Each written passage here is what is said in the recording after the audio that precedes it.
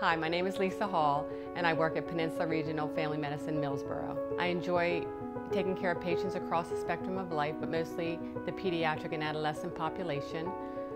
In my spare time, I enjoy running, gardening, spending time with my family and going to the beach, and just enjoying every day.